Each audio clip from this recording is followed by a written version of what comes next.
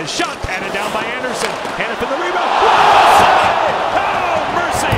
What a stop by Frederik Andersen. Wow. Well said. 3.56 left in the opening period. Great stuff tonight here in Toronto. None better than this. Frederik Andersen off Noah Hanifin.